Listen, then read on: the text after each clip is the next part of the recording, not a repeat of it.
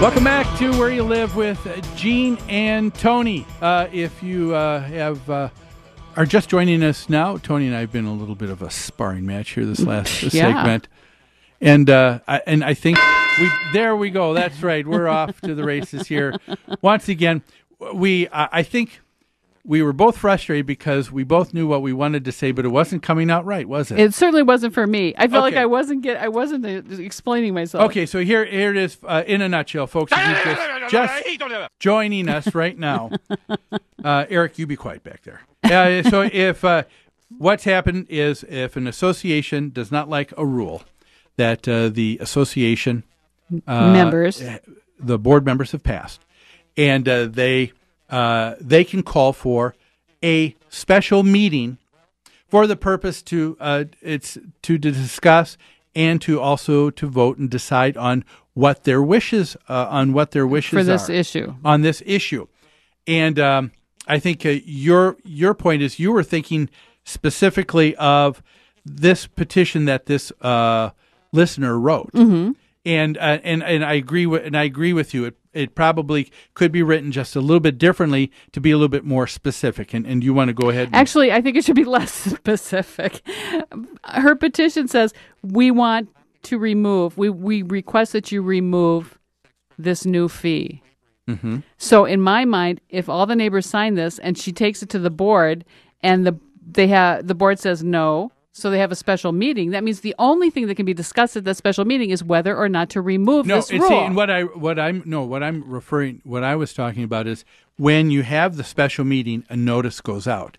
When the notice goes out, you need to address and outline the parameters of what is going to be discussed Mm-hmm. and what action will and will not be taken at that meeting. okay, So, that, that's two different things. So she said, she said in this case, we want we want to have this removed.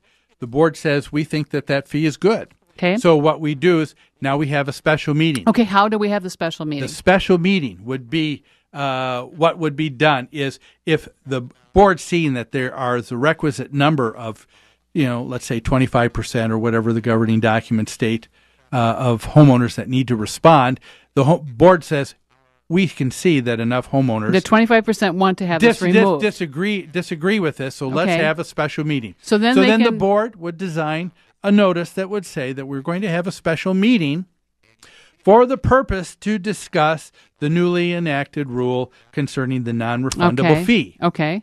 Okay. All right. And then uh, we will we will discuss whether to have the fee, not to fee, and a vote will be taken, you know, as to the result. Okay. Okay. And and so now you now people know and have the reason to either go or not go. That is that is uh, the right and privilege of every Okay. homeowner. They may say it's not a big deal. I don't care what happens. So at, at, with this first petition, you're saying you don't have to be so specific about. Excuse me. With this first with this first petition, you can just raise the issue. Yes yeah, or no. raise- it's Okay. raising the issue, right. showing that there's right. enough interest to warrant To talk about it. meeting. Yeah. So that's it. All right. So then we agree. Would- We- we yeah, just- I'm going to think about this. Uh, tell us what you think as well. Well, I, I think it is uh, time now uh, for us to move on to something a little bit uh, less volatile. Let's Less talk about let's talk about shooting guns. um, I think that uh, that would do that. And uh, uh, we are happy to have uh, on the show with us now, folks, uh, a gentleman uh, by the name of Frank Rush, and Frank is the town manager in the township of Emerald Isle. Hello, Frank. How you doing? Thanks for being on the show with us uh, today. Happy to be there. Um, I appreciate you taking some time to be with us here. Uh, folks, uh, the reason we have Frank on the line with us is uh, on uh, January 29th, uh, 29th from the Daily News in Jacksonville, North Carolina, was this headline Deer hunting in an HOA. Is it ever a good idea? And what's happening is that there was, uh, there are um, folks who live in the Lands End Homeowners Association, and they have uh, gone to the county courthouse to ask for a temporary restraining order to stop a deer hunt in the Emerald Isle neighborhood. And uh, what's happened is, uh, uh, Frank, you're with the, the township there. Tell us why was uh, this deer hunt necessary? Yeah. Um, well, here here in Emerald Isle, we've been struggling with an increasing deer population for probably about the last seven or eight years. Mm. And every year in the fall, we do uh, we have a biologist from the North Carolina Wildlife Resource Commission who does a population estimate for us. And in uh, in many years, we found that the population was manageable, right around 100 or less.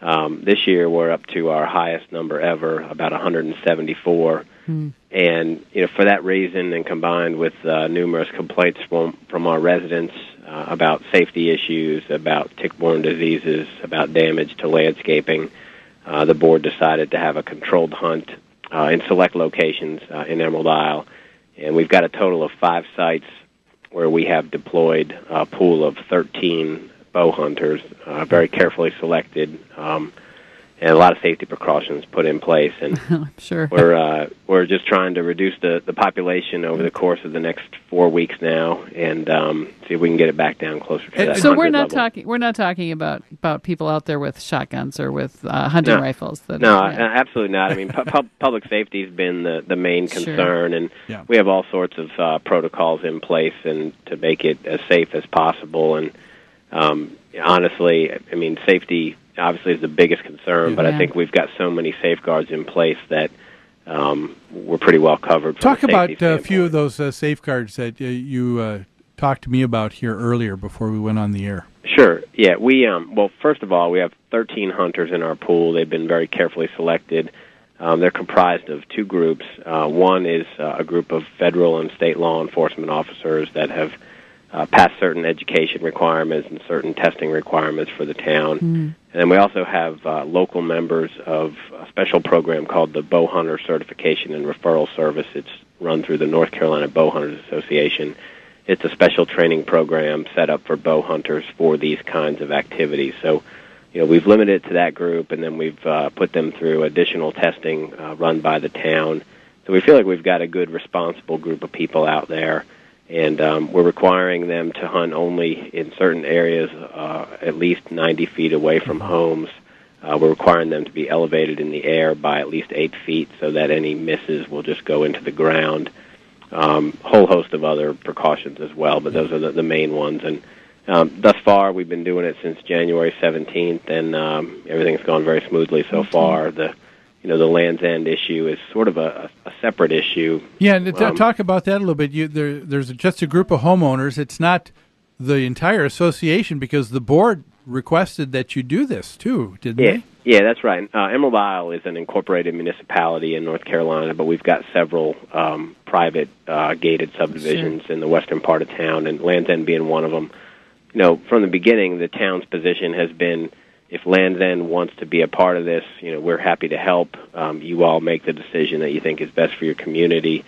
If you want us to come in and do this, we'll do it. If you don't, we're happy to stay away. Um, the Land's End Board of Directors went through uh, a pretty comprehensive uh, input gathering process, uh, sent surveys to all the property owners uh, in their neighborhood.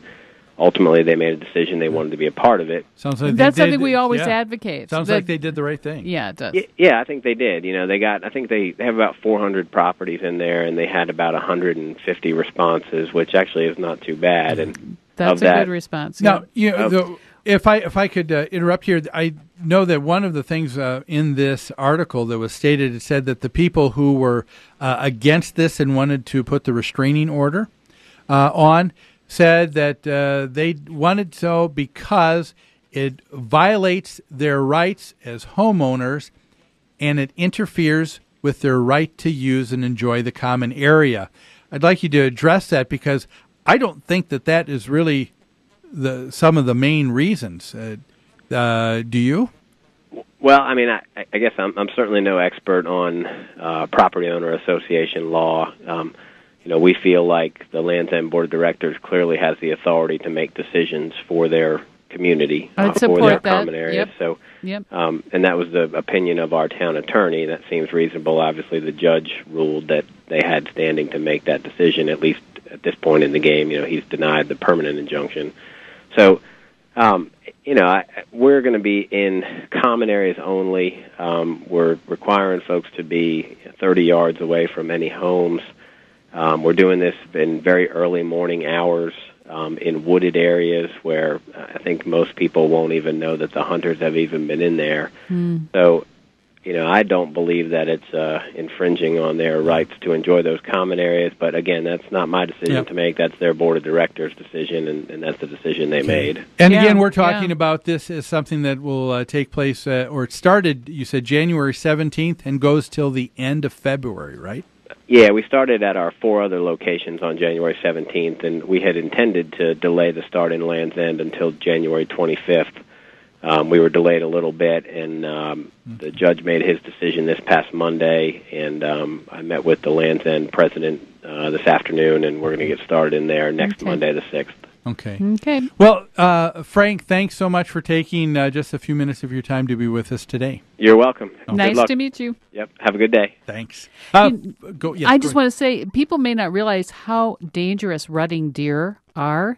They're extremely dangerous. My my brother worked at the Cedar Rapids or Davenport Mm-hmm. Zoo, and most injuries in the zoo were caused by hoofed animals, by deer and deer family animals. They get really crazy in the uh, fall. You, you you have that. You think of uh, he talked about the increase with uh, ticks and That's what right. They're carriers of uh, Lyme ticks disease, with Lyme disease, yeah. uh, destruction of property, accidents. Uh, you know, people being harmed. Uh, or you with- hit a deer. Yeah, yeah, yeah, you know there so there was a lot and i uh, yeah, I, I think it's a good idea. That happened uh, here in Minneapolis uh, about a year ago, where they had uh, uh, bow hunters. Did uh, they? Uh huh. That were given special permits uh, to be in some of the parks and some of the areas Hmm. in Minneapolis too, because we have the same issue here, even in the city yeah, itself. yeah. Uh, so yeah, a, a good uh, a good idea. Well, we need to take another uh, break. Uh, when we come back, we're going to turn our attention to uh, the state of North Carolina again, and something where we're going to applaud the legislators there for something that they did. We'll tell you what that was after these messages.